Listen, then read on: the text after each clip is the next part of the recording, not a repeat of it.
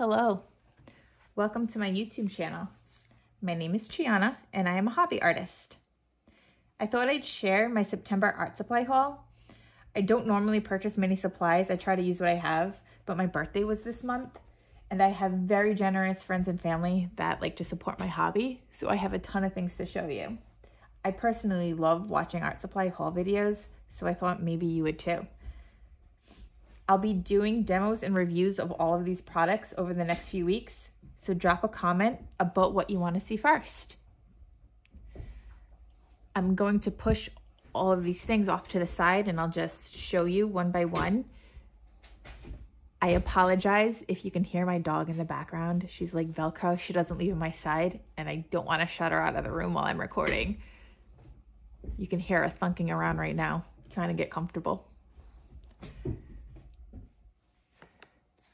Okay, so the first thing I'm gonna show is just this really cute pencil case.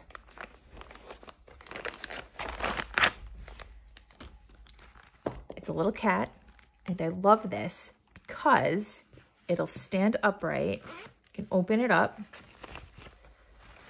push it down, and when you're using it, when it's full of supplies, it just stands there and you can just grab what you need and you don't have things rolling all over the table, but everything's right at your fingertips. And I thought it was so cute because it's a little cat. And I'm gonna show you what I have to put in this. Okay, so I have what are called clutch pencils. The company is Koh-i-Noor. You can get these on Amazon. And this is what's really cool about them. You press the top and it holds a two millimeter lead. They come with HB lead, which is great for just drawing. But what I got to go with these are a set of 6B, 8B, and then in this package, 2B and 4B leads. And let's open it up. This is how it comes. Two lead, two boxes of lead together.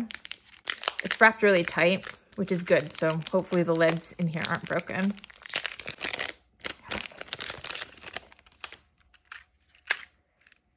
Oh, they look good. So here are my 2B and my 4B. So I like having the different grades of lead. So that way I can get some really dark darks with my 6Bs and my 8Bs and I can get some lighter values with my 2Bs and my 4Bs. And I think how I'm going to organize these pencils, since these all came with HB leads, I think I'm going to do them in rainbow order.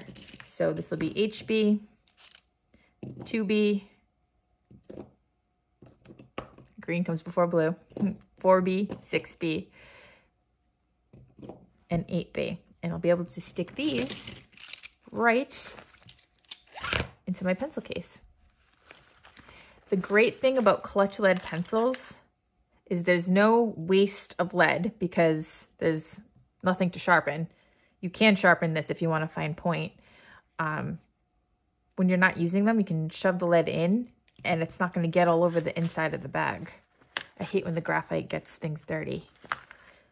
The back of this has a little sharpener. If you untwist this, that's actually a little sharpener.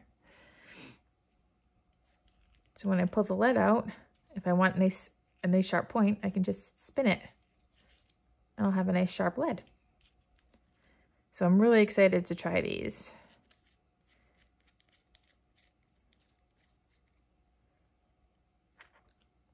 I'll definitely be doing a sketch probably in one of my new sketchbooks for you guys to see.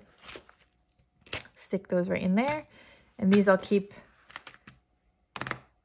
at home probably for my spares.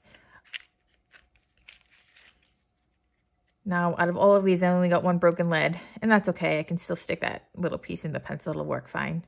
But they're generally pretty protected in this case, so I like that.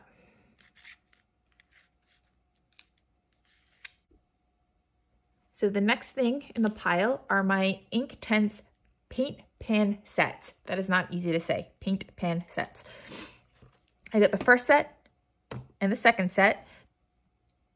For those of you that aren't familiar with Inktense, um, when it's set up like this, they're very much like watercolors.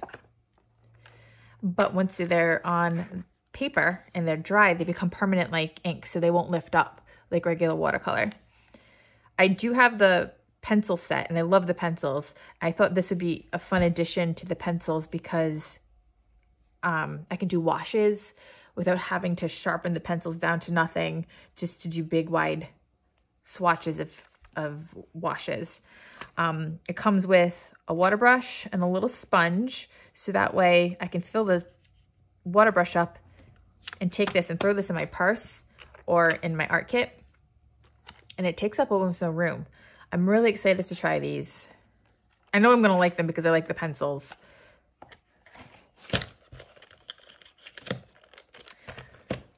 Right now, the best place to get the set number one is dickblick.com. Um, it's pretty inexpensive on their website. The second set is actually pretty hard to find. A lot of places, they're out of stock till after Christmas. I um, did see them on Amazon recently though, so if you're interested, you might be able to find them on Amazon. Okay, so the next thing I'm, well, I'm excited about everything. I was going to say I'm excited about this, but let's be real. I'm excited about everything in this pile. This is a sketchbook with colored paper. It's the it's Shizen Design journals.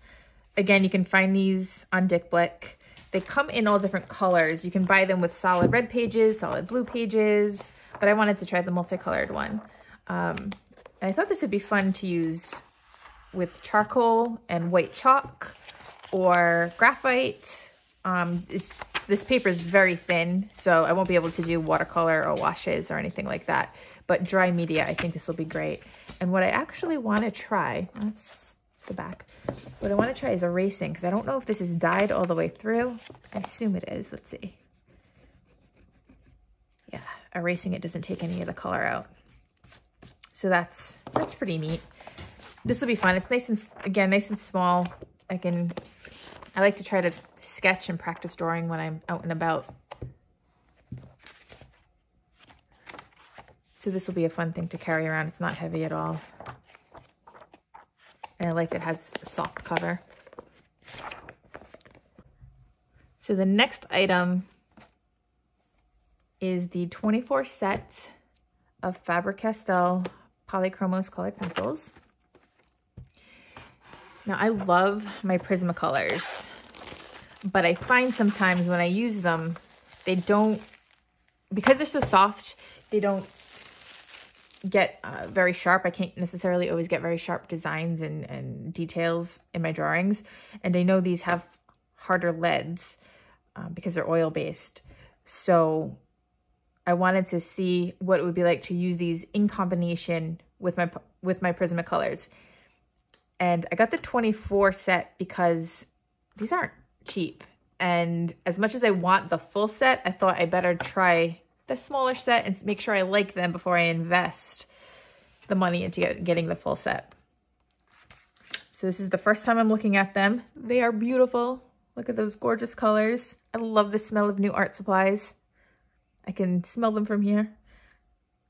It's not a strong scent, so I hope that doesn't make anybody nervous that I'm saying that these have a scent. Um, they just smell good, like art supplies.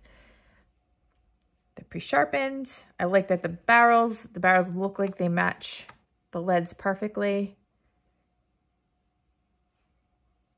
Because they're oil-based pencils, I think they're a little bit more transparent than the Prismacolors. So I'm not sure how these are going to work in the sketchbook I just showed you, but I know they'll be great on white paper. So as I use these and experiment with them, you'll get to see the videos and I'll let you know what I think about them.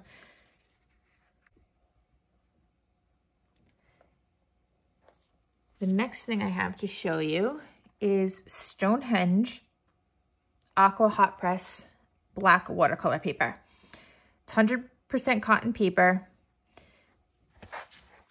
And I wanted to try this because I've been using a lot of gouache lately and I've been using my gouache on just regular black paper. And it's been okay. It hasn't been fantastic because sometimes it can warp when you use too much water. And sometimes the gouache can crack when the paper warps. So I figured watercolor paper would be much better. It's not going to warp as easily. It's going to hold up better. And I can also use this with colored pencils with my Prismacolors. I love using Prismacolors on colored paper.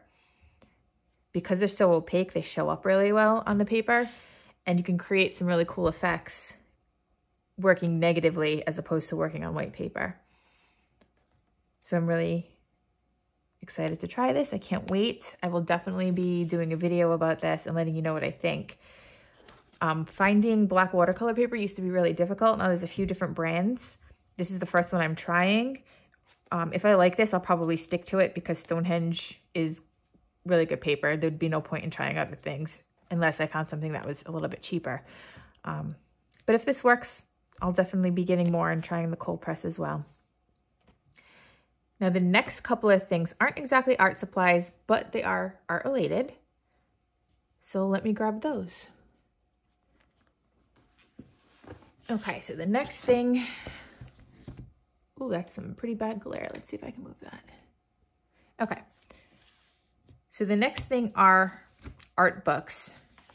They are all by James Gurney. He's one of my favorite artists. He has a YouTube channel, actually. Um, he does a lot of watercolor and gouache and oil painting. Um, this one, Imaginative Realism, is all about how to paint realistically, but paint things that you wouldn't see in real life, like people riding dinosaurs, for example.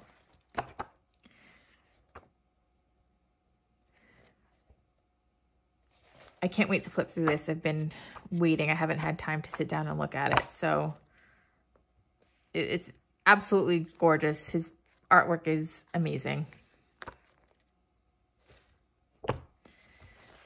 So this one is the Imaginative Realism. This one is Color and Light. So again, it helps you um, paint things or draw things that you wouldn't necessarily see in real life. And it explains how light would hit them. So that way you're painting something realistic without having a model necessarily right in front of you.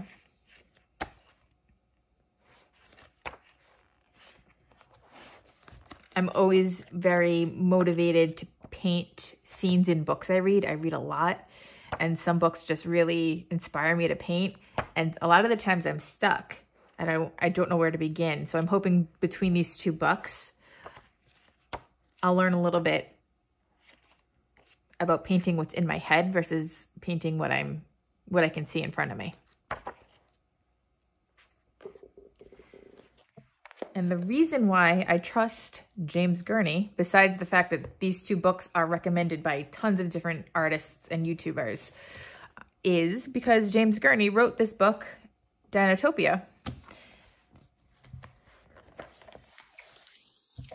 and it's all about a world where dinosaurs and people coexist.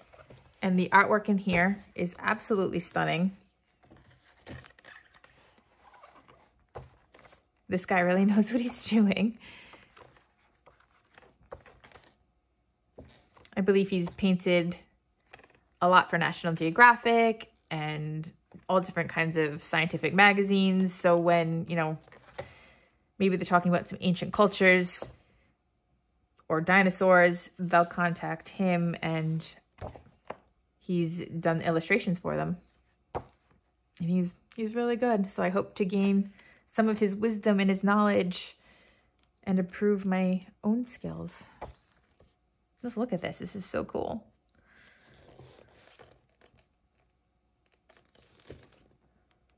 So I can't wait to dive into this one too.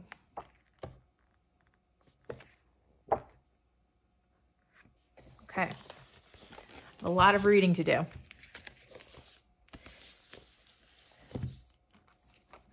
Art books are a great gift for any artist in your life. there's something about being able to read a book and just have it open and do the exercise that goes along with the book as opposed to watching a, a video and having to pause it and rewind it and um, and learn that way. I love learning from YouTube and from videos, but I also really like learning from books. So I can't wait to try some of the things in here. Okay, we've got a few more things to look at.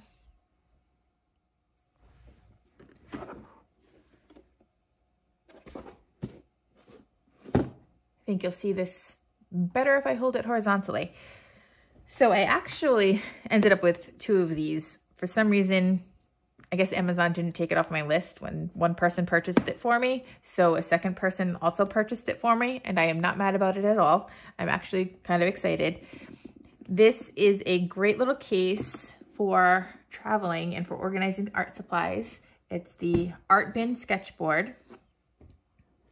It's got a clip up here where you can put a piece of paper or you can put a sketchbook. Actually, let's try putting the sketchbook I got right under the clip and see how it works. Okay, so if I'm out in the fields, I'm outside and I want to paint I don't want the wind blowing my book around, I can just slide this in. Oh, and it works perfect. Put, put it in there and it'll just hold the pages open for me. Oh, that's really cool. All right. I also like this size because I tend, when I work on watercolor, to tape my paper down to a surface and I'll be able to tape it right down to the surface and, and paint that way. And I'll be able to just take it with me. Um, let's peel off this sticker. I don't need that anymore. Okay. The other cool thing about this is there is a latch on the side and you open it up and inside we have another clip. I'll turn it around so you can see it better. This is one side and then the other side has a spot for pencils, a little pocket. We can put, I don't know, erasers, pencil sharpener, whatever you want in there.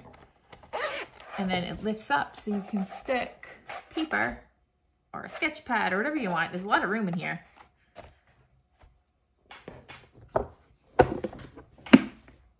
Can't wait to load this up and take it with me. And it's not heavy at all. So I can throw it in a tote bag if I wanted to.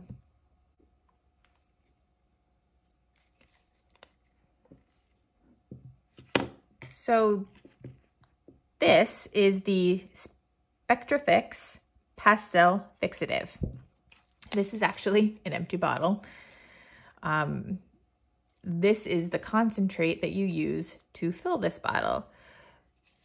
The purpose of this is to spray it over charcoal or graphite or pastel drawings so that way when it's dry and you run your hands over the graphite or whatever powdered art supply that you used, it doesn't smudge. And I do a lot of charcoal drawings. Um, and normally I use this big can of fixative, um, but it stinks and it, you're really going to use it outside. And I'm in New England and I don't want to go outside when it's cold. This is supposed to be safe to use indoors. Um, and it's actually supposed to be one of the best things you can use on pastel. And while I don't use pastel, I do use white chalk a lot in my charcoal drawings. So um, it's supposed to, I guess, not not make the white powder disappear when you spray it. A lot of the fixatives, when you spray, when you spray it over white chalk or white pastel, it kind of dissolves it and it disappears. And this is supposed to not do that. So I'm hoping it works. You mix this with either vodka or Everclear, and then you just shake it up and spray it. So, um, yeah, I can't wait to use this. Okay, the last two things I actually purchased for myself. Like I said, I don't buy much for myself when it comes to art supplies, so this isn't super exciting. But um, I bought the Canson Pen and Ink sketchbook because I wanted to do Inktober. And Inktober, you do a different ink drawing every day for the month of October. Um, I'll show you what I have so far. This was just practice and it was really bad. I don't normally use ink. But I, tried to follow the prompts for the month. The first one was crystal, so I did a fortune teller with the crystal ball. Day two was suit, so I decided to do a knight in a suit of armor. This one I, I'm pretty happy with. I used Copic gray markers for that actually use them for all of these. Let's see. The next one, the prompt was vessel. So I did some glasses. The next prompt was knot. So I drew a knot. And then day five was raven. So I drew a raven. And this one's my favorite so far, I think. And then um, day six is spirit. And I started a horse because I thought horses have a lot of spirit. It's not quite done. I will show you when it's done. I'll do a full sketchbook flip through at the end of October. So that's something to look forward to. And then this, I wanted just a regular sketchbook for my charcoal and for my graphite if I wanted to do smaller drawings. Um, and I'm going to show you actually why I purchased this or why I asked for this to be purchased for me.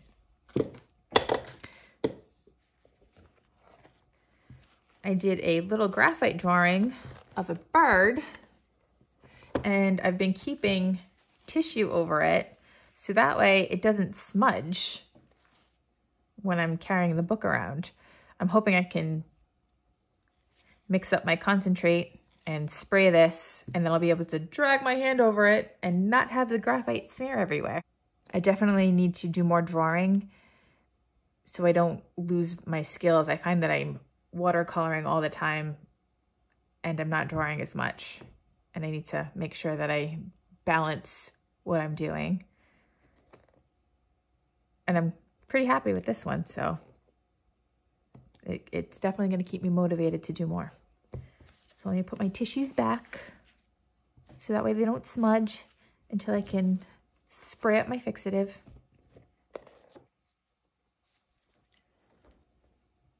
And I guess while I'm here, I did show this in my last video, um, but I've used it now, so I can talk a little bit about it. This is the Koh-i-Noor Magic Lead Clutch Pencil. So it's similar to the other clutch pencils I showed, but it's got a thicker lead. This is a 5 point think it's 5.6 millimeter lead and it's a rainbow. It's a rainbow lead. And I just grabbed this for gestural drawings.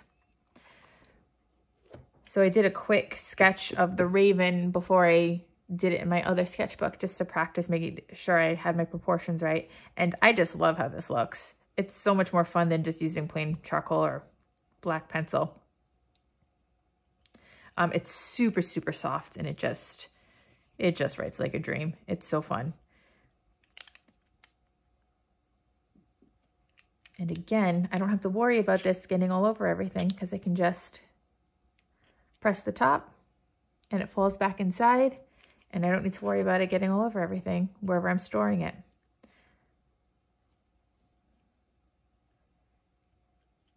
So all of these products you can get on Amazon. You can get most of them from Dick Blick or Jerry's Artarama those are my go-to places for art supplies. Um, so let me know what you think. Let me know what your favorite supplies were that I showed you. And let me know what you'd like me to use first and demonstrate first for you. Thank you for watching. And I hope to post a video soon. See you later.